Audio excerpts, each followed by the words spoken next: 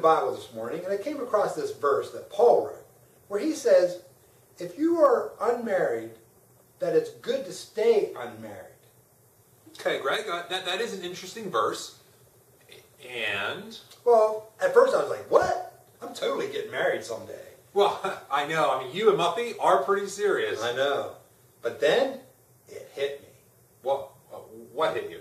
Like, I totally understand why it's good to stay unmarried. No, wait a minute, Greg. Oh, wait.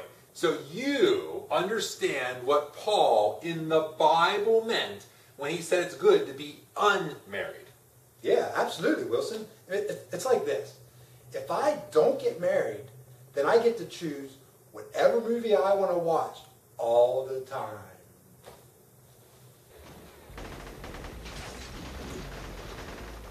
Hey, Greg. I brought Sleepless in Seattle. I thought we could watch it tonight. Oh, but I thought we were going to watch an action movie tonight.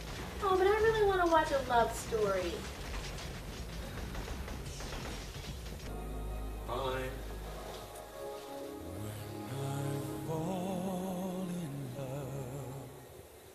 See what I mean?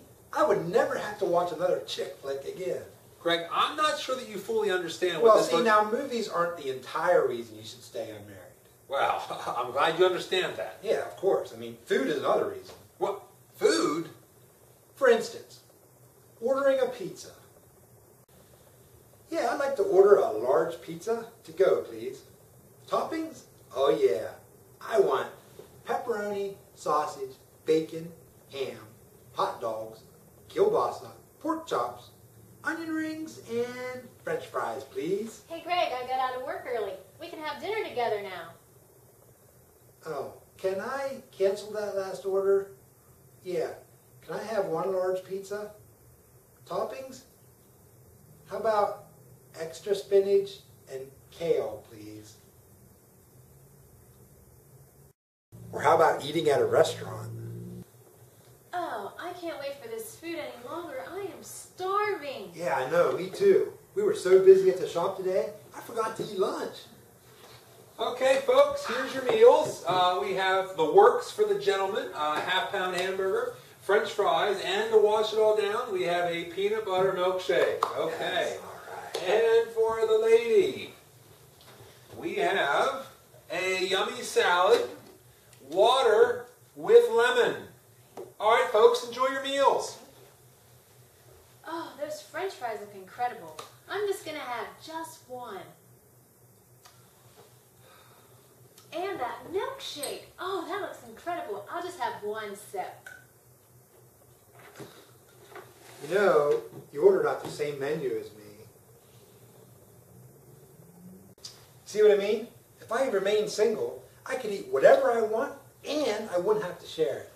Well, that's a good point, Greg, but do you really think that that's the whole reason why the Bible says we should remain unmarried?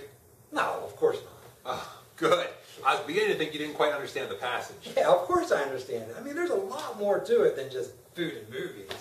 I mean, matter of fact, the next reason is probably the most important. Oh, good. You know, I, I'm glad you finally realized that- Bodily functions.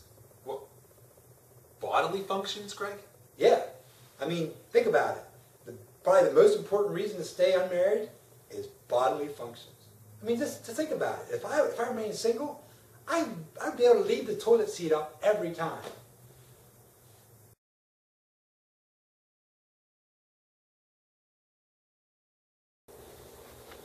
Greg!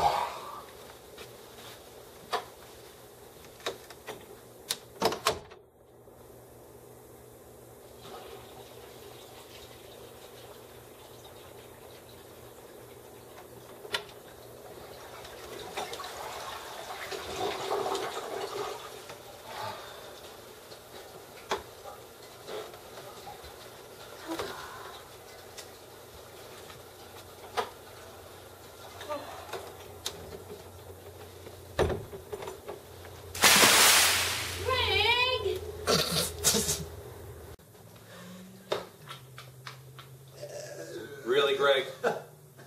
okay, okay. Maybe I should get into the habit of putting the toilet seat down, you know, but I definitely will not be able to stop the habit of my bedtime air biscuits. Air biscuits? I'm almost afraid to ask.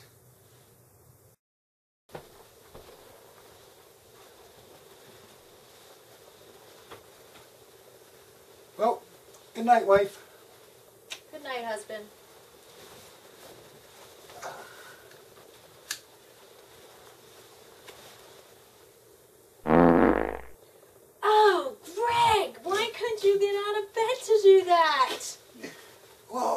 Was all nice and warm in the covers, and I just thought I'd make it a little bit warmer. Oh, gross. Oh, Greg, you stink. It's not gross. It smells pretty awesome. Here, wait.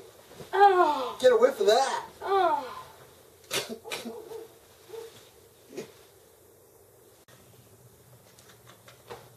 Uh, you know, Wilson, I think I'm going to add that to my list of why I should get married.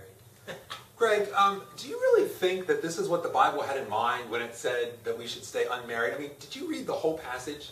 Well, no, I stopped that part where it said to stay single. I mean, it seems pretty self-explanatory. Did you not learn anything that I just taught you? Greg, you know, I think if you take the time to read all of 1 Corinthians 7, I think you'd find the real reason what Paul had in mind when he suggested that we stay unmarried. Are you saying that my reasons weren't real? No, I mean, your reasons are real. I just don't think that's what Paul had in mind. I mean, his reasons were a little more spiritual. You see, if we're unmarried, um, we can spend all of our time doing God's work and thinking about ways to please Him. When we get married, we can still do God's work, but now we also have to take time to please our spouse. So if you're unmarried, you can be totally devoted to pleasing God. Well, I'm single now. That's right, you are. So listen, right now, you can use your gifts and your time and be totally devoted to pleasing God. You know, that's a great idea. And that's what I'm going to do. But first, I think I'm going to order a pizza and get the toppings that I like. Oh, hey, that's a great idea. And hey, if you add fried pickles, I'll join you. You got it, buddy. Hey, guys. I got off work early. You want to go get some lunch? Uh, no, no, no, okay, thanks. that- that's No, okay. no, thanks. uh, That was see, it. ya. see, see you later.